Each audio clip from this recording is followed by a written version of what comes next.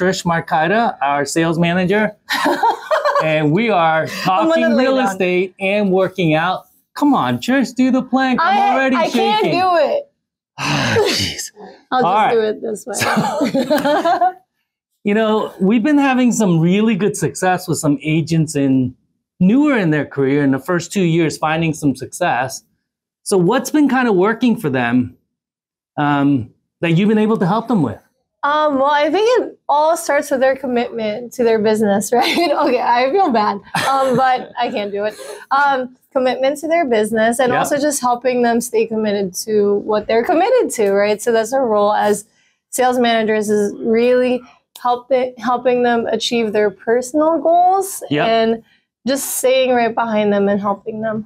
Yeah, so I know that some of the agents have set some big goals, mm-hmm. big BHAGs, big, hairy, audacious goals. I'm shaking, I'm sorry. It's not easy. So when you look at those personal goals and they're working every day in their real estate business, mm-hmm.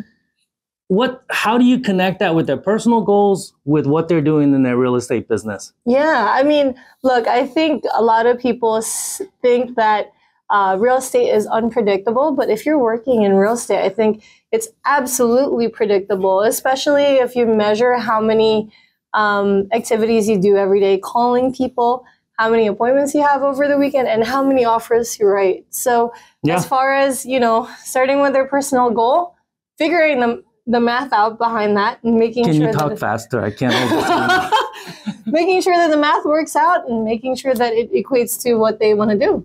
Thank you for spending a minute working it oh. out. Yes. I'm oh sorry, Jay. I feel bad. Give up. It's okay to give up. well, that's not how we do it in sales, though, right? No, keep going.